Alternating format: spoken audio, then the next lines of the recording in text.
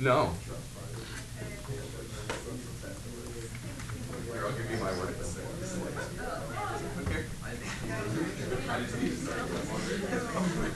All right, let's. Uh, can you guess what we're we're gonna we're gonna move on to today? We're gonna learn some new derivatives. Um, so a couple new functions. Um, maybe you can guess. Maybe, maybe maybe you can guess from the part B of the warm up here. Yeah.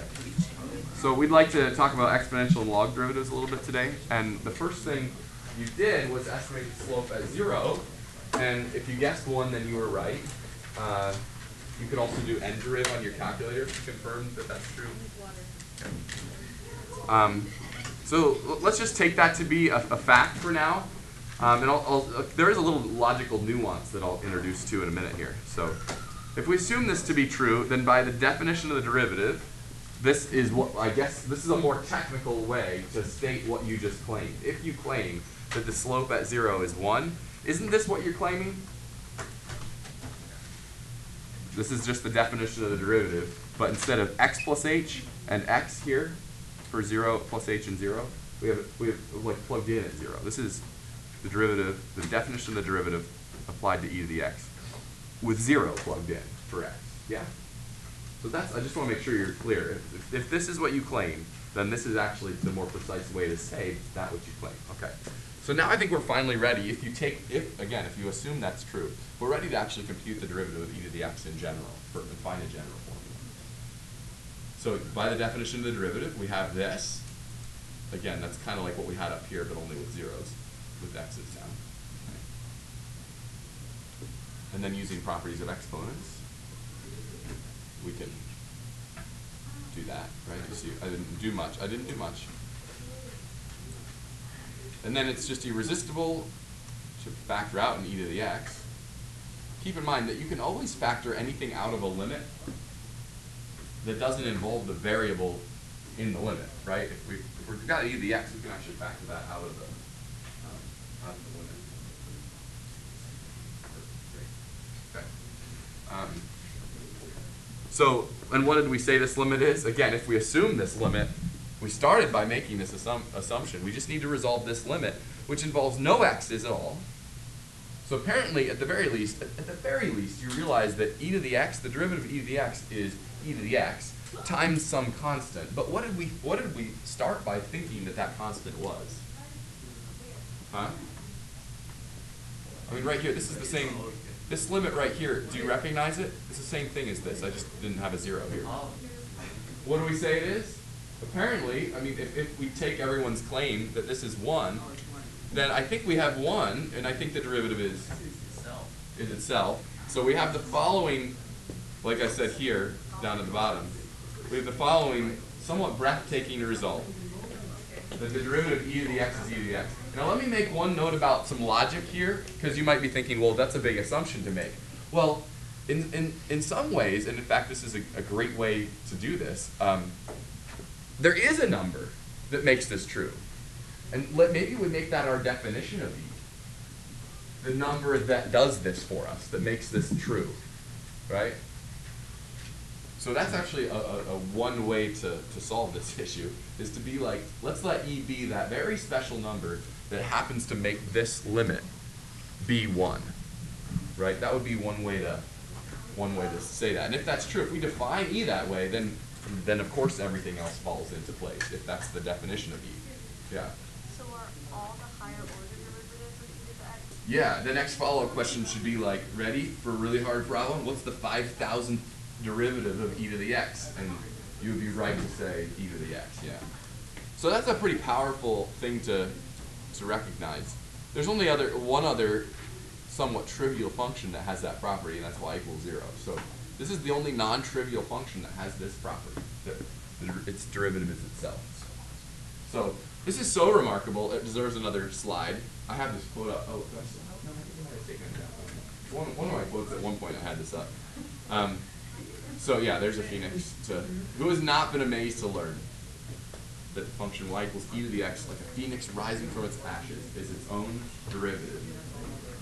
You can't can't keep it down. Keep taking derivatives. With polynomials, you, you eventually destroy them, right, by taking them to zero after uh, n plus one derivatives of a nth degree polynomial, you get to zero. Um, but that's a that's a that's a pretty image of a phoenix, isn't it? You know the legend of the phoenix. I assume you know what phoenix is all about. Um, this is Francois. I thought there we go. That's an equally startling image. there he is. There's Francois. Okay, who made that quote? Let's just let's just make that distinction there. Okay. Um, all right, let's play around with this. Uh, this is this is a pretty remarkable property. Uh, so let's give some of these a try. I'll give you a minute to just give them a try first. See if you can really think hard about what does this mean for my life now. To x, e to x. Well, when you're done, you'll give that back to me, right? When, when you're done. Okay, that wasn't like a gift. Uh, that's like my original chase copy. Uh, yeah, that's fine. All right, okay.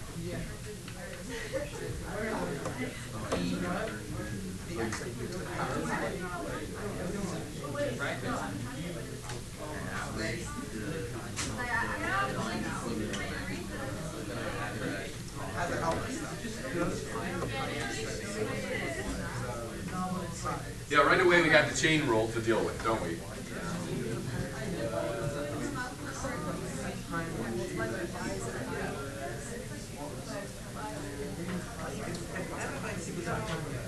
Right. Why, why are you saying that? Oh, the pie, the pie doesn't go anywhere. That's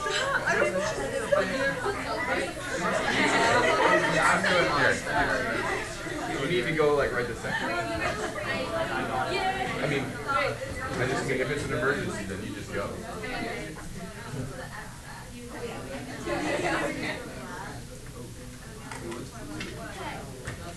Okay, so the pie. Right, I didn't. With, with, with the pi x, is this some property that you want to go? Pi doesn't go anywhere. All right, how are those the sounds? Are those the sounds of you thinking hard and working?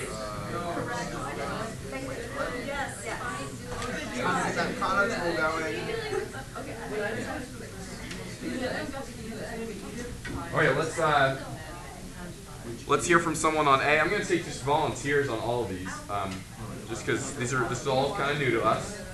Uh, you want to do A, John? Okay, go ahead.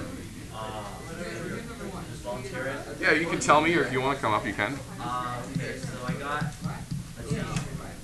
So I got pi times, pi times e to the x to the power of, no, e to the power of x, all to the power of pi minus one minus Um, I think I well, careful. I, I really like what you were about to say. There, I like the pi. was definitely a pi. Um, but what is the derivative of e to the u? What's the derivative of e to the u with respect to x? The answer is e to the u times du dx, isn't it? Right? The chain rule is always with us, isn't it? So in fact, actually, the rule on the last slide down here, this rule is actually, I think, maybe even in your book, in lots of textbooks, if not ours, the rule is actually given this way. Right? Just like, in fact, a lot of the derivative rules you'll see, I think, in our textbook or other textbooks, are often given with the chain rule, just to remind you that, like, the chain rule is always, always there. Okay? So, all right. So, someone want to complete this? I like the pi. Rebecca? Just pi x, e pi. e to the pi x. Oh. Agree?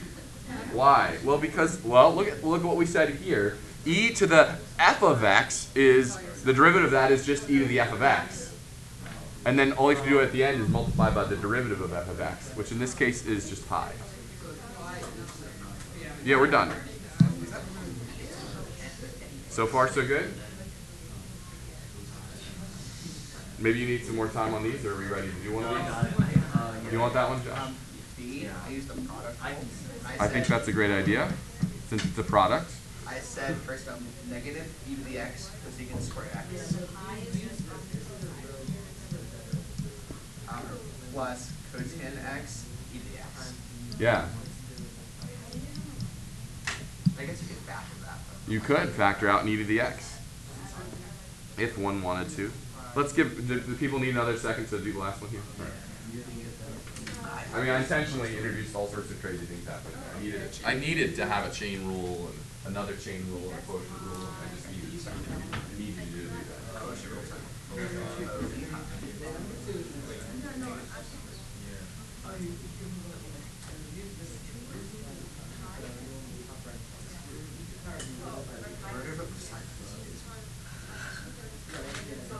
Yeah, you might want to just say, what's the the sine x on this side?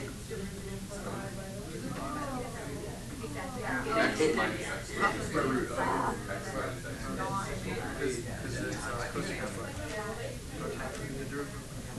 That's the chain rule, right?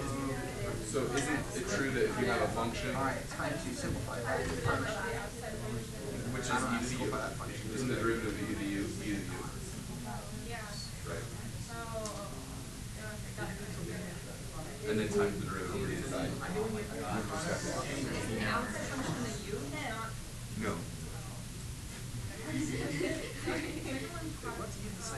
Yeah, I'll, here, I'll write a few more rules that you already know, but in this form.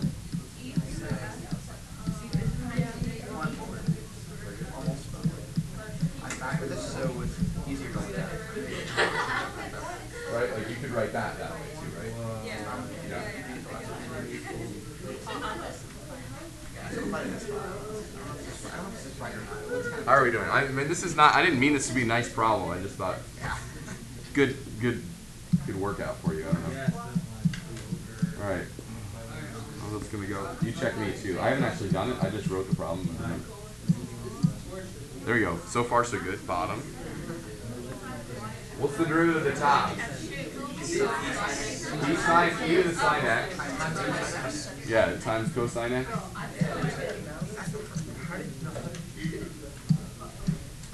Minus top Oh, the Drew the bottom, which is something messy, but what is it? One half?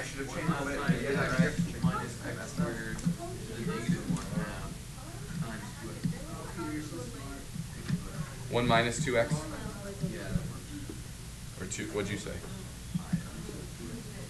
That's harder. I probably didn't. Uh, by the way, there is clearly there's a domain issue on this. We, that, so there's some there's only some there's some domain for this. I don't know what it is. we can figure it out. Actually, I think I can figure it out. Uh, it needs to be what x is between zero and one or something like that. I think I don't know. I think is what the domain needs to be actually for this. But whatever. Let's not let's not issue with, deal with that. Um, all right. Uh, so that, I mean, there it is. If you want, we should, we can clean it up a little bit for sure. But um, Besides factoring out p sine x, how do you? but I don't know. Yeah, I don't know that we can clean it up too much. Actually, you might. Yeah. Let's just leave it. Let's just leave that right there. Okay. All right. Uh, theoretically, one could like do something else with it, but I think, yeah, we could factor out to the sine x maybe, but that's yeah, not too much more, I guess. All right, let's. I think it's a natural question to ask what's the derivative in general of like three to the x or or whatever to the x. So uh, I'm gonna rewrite a to the x. In fact, almost the entire way along the way here is like your pre-calc skills coming into play. So uh, first, can you just agree with me that this is true? Can I rewrite again? No calculus has happened here. Just pre-calc. Why does that work? Well, because e to the x and ln x are inverse functions. So I'm, I'm just going to use that property to rewrite this this way. You could easily just rewrite it back if you wanted, but trust me that this is good, a good choice. Using another, another property that you might remember from pre-calculus.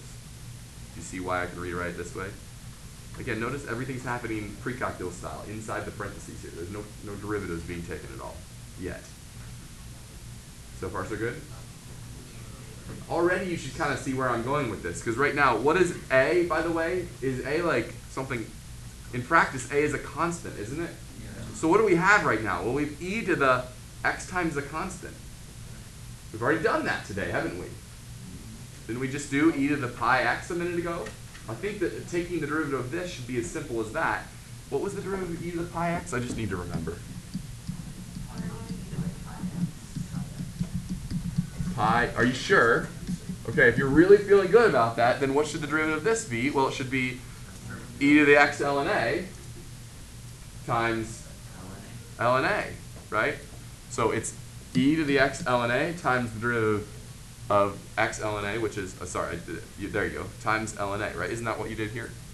There you go. So it's the derivative of e to the x ln a is e to the x ln a. Oh wait, chain rule times ln a. Okay, so that, that should feel as ex- exactly as familiar as this did. If you really like this, if you're feeling good about this, then I require that you feel feel good about this. Yeah, Nick.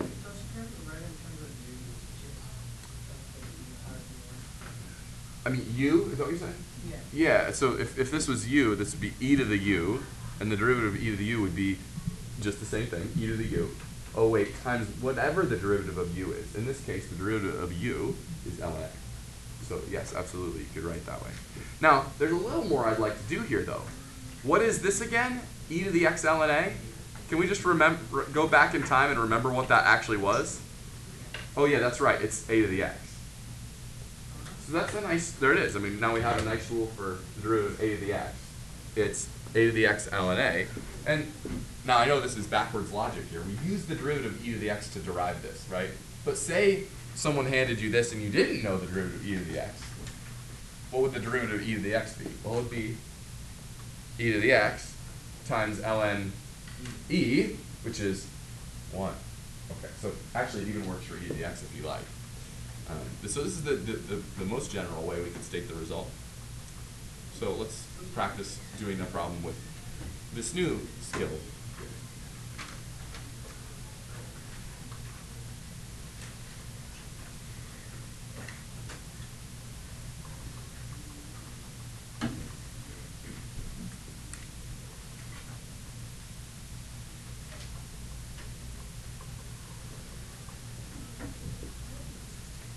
Can we use a calculator for this? Do you need to? Fine, I'll end up two. Let's just write ln 2. Okay.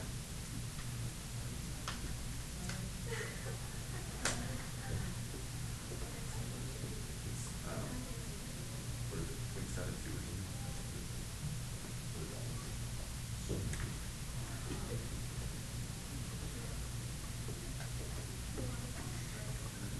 Something not quite one.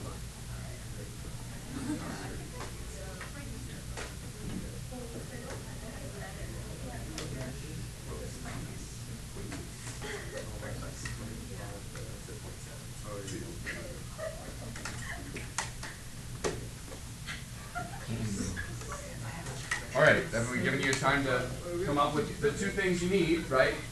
Uh, we have a point. What is it? Five comma thirty-two.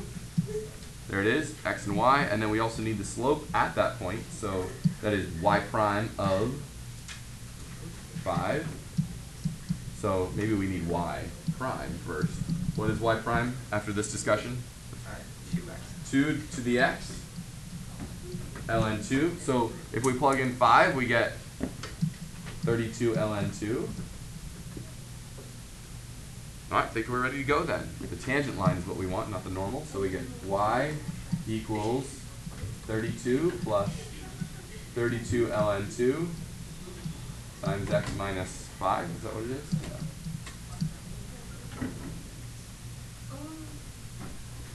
That looks, I think that looks good, right?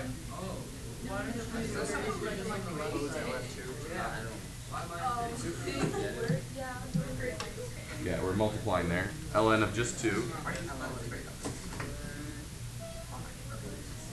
By the way, the slope at x equals 5 is fairly steep, we should say, right? Um, that's, that's okay. We expected it to be steep. That's alright. Is that right? Find the equation. We were supposed to find the actual equation and the tangent line, I guess. That's what, all right.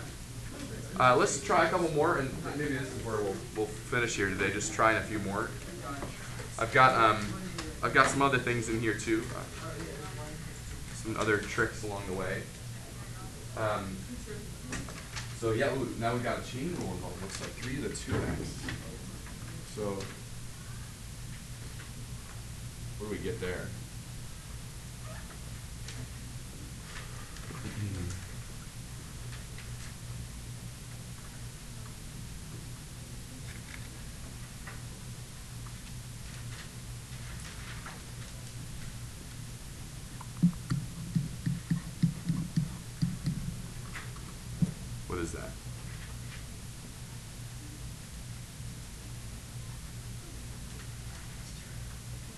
Maybe I should write the derivative of a to the u again.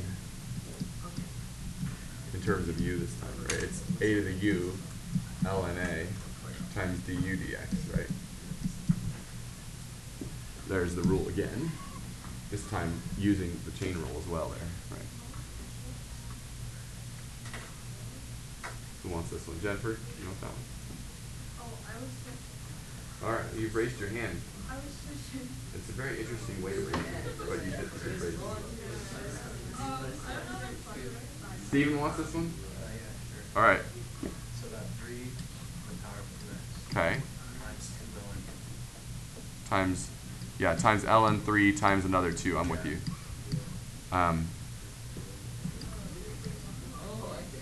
yeah, because we need to multiply. I'm just I'm trying to format it like I did up here. You, that's the chain rule, right? So I think that works. Um, there is another way to do this problem. Would you like to suggest another way? Using some pre-calculus knowledge. Before you start, it would be great to, to not have to, to think any harder than we need to. Uh, yeah, Nicholas?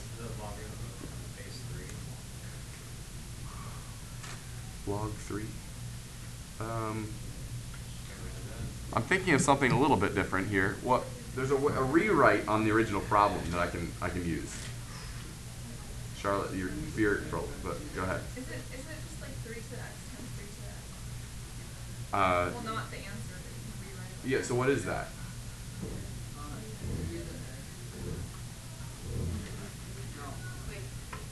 What is three to the x times three to the x? There's like a really simple way to write that actually.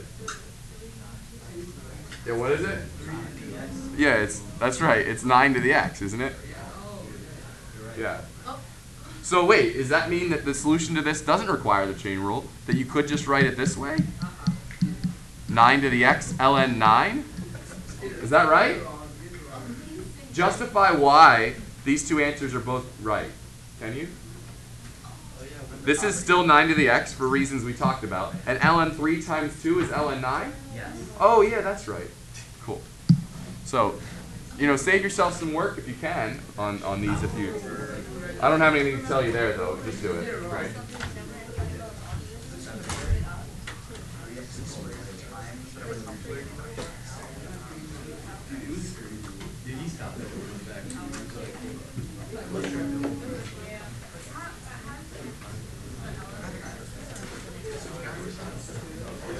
Down here, we're finding y double prime, right? That's what I'm asking. Anyone have a helpful? Anyone have a helpful rewrite for b down here? Huh? What is it? Yeah, six to the x. Would make your life a lot easier, wouldn't it?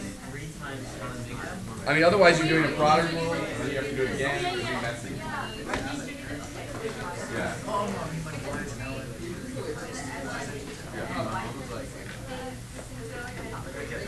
Yeah, do you remember this property A, B to the x is equal to A to the x, B to the x? Yeah. And that'll make you taking two derivatives a lot easier, right? Yes. All right. Well, I, I, I I'm, just, I'm getting the message that class is over, so um, I guess um, everyone starts giving up out of their seat, and wandering around. I kind of know. It's fine. It's fine. I mean, I'm not hurt at all. It's fine. It's fine.